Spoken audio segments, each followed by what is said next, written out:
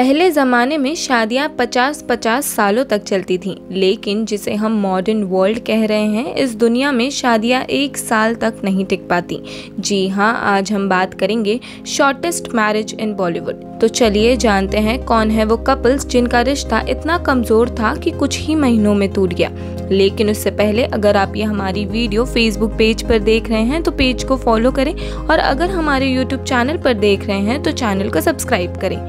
पहले नंबर पर आते हैं बॉलीवुड की evergreen actress Rekha ji and Mukesh Agarwal. Rekha ji ने दिल्ली के जाने माने बिजनेसमैन मुकेश अग्रवाल से 1990 में शादी रचाई। लेकिन अफसोस, मुकेश अग्रवाल, जो कि डिप्रेशन से गुजर रहे थे, शादी के 12 महीने के बाद ही मुकेश अग्रवाल ने सुसाइड कर लिया, जिसके बाद ये शादी नेचुरली खत्म हो गई। दूसरे नंबर पर आते हैं Karan Singh Grover and Shraddha Nigam. Karan play boy के नाम से खूब फ़ेमस है। करण से श्रद्धा ने 2008 में शादी की, जो कि 10 महीनों में ही खत्म हो गई। साथ ही आपको बता दें, ये करण की सबसे पहली शादी थी।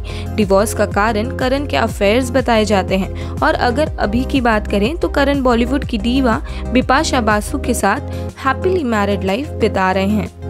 तीसरे नंबर पर आती हैं मलिका शेरावत एंड करण सिंह गिल।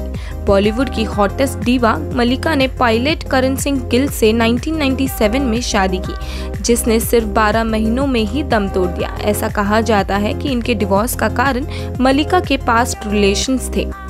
चौथे नंबर पर आते हैं सम्राट दाहल एंड मनीषा कोयराला बॉलीवुड की एवरग्रीन एक्ट्रेस मनीषा टाइड और knot with businessman Samrat Dahal in 2010 लेकिन 2012 में दोनों अलग हो गए। मनीषा का कहना था कि मुझे जल्दी शादी करनी थी, जो कि मुझ पे भारी पड़ गई। शादी के बाद मुझे लगा I am not meant for this so she thought not to be in a bad relation just get separated और तब से मनीषा सिंगल हैं और साथ ही एक इंटरव्यू के दौरान मनीषा मनीषा ने कहा था कि अभी उनका कोई इरादा नहीं है फिर से शादी करने का। पाँचवें नंबर पर आते हैं साजिद एंड दिव्या भारती। इनकी शादी 1992 में हुई थी, लेकिन 1993 में जब दिव्या भारती ने सुसाइड किया, तब इनकी शादी नेचुरली खत्म हो गई। ऐसा कहा जाता है कि दिव्या ने अपने घर के बालकनी से कूदकर अपनी जान दी थी। छठवें नंबर पर आते हैं Ali Merchant and Sara Khan. Ex contestants of Bigg Boss four Ali Merchant और सारा खान की शादी 2010 को नेशनल टेलीविज़न पे हुई थी। कहीं और नहीं बिग बॉस फोर के हाउस में। लेकिन बिग बॉस के बाहर आते ही 2011 में कपल ने डिवोर्स ले लिया। लोगों का कहना था कि कपल को 5 मिलियन रुपीस दिए गए थे नेशनल टेलीविज़न पे शादी करने के लिए। सातवें नंबर पर आते हैं पुलकित सम्राट एंड श्वेता रोहिरा। फुकरे फेम पुलकित ने अपनी लॉन्ग टर्म गर्लफ्रेंड और सलमान खान की राखी बहन श्वेता रोहिरा से साल 2014 में शादी की। लेकिन सिर्फ़ 11 महीनों में ही इनकी शादी केम टू एन एंड इनके डिवोर्स का कारण पुल, इनके डिवोर्स का कारण पुलकित के एक्स्ट्रा मैरिटल अफेयर्स बताए जाते हैं और अब पुलकित बॉलीवुड की एक्ट्रेस कृति खरबंदा को डेट कर रहे हैं। As they are very open about their relation आठवें नंबर पर आते हैं भरत नरसिंघा एंड चाहत खन्ना। चाहत ने बिजनेसमैन भरत नरसिंघा से 2006 में शादी की, लेकिन आठ महीनों में ही दोनों अलग हो गए। चाहत का कहना था कि भरत उन्हें फिजिकली अब्यूज करते हैं।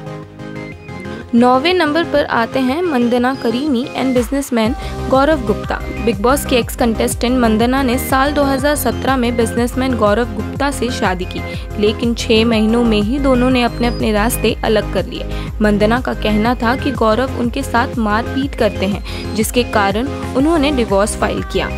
लास्टली दसवें नंबर पर आते हैं Karan Singh Grover and Jennifer Winget दोनों दिल मिल गए के सेट पे मिले और इनके ही दिल मिल गए और दोनों ने साल 2008 में शादी कर ली। लेकिन करण की पहली शादी की तरह ये भी ज़्यादा समय तक टिक ना सकी।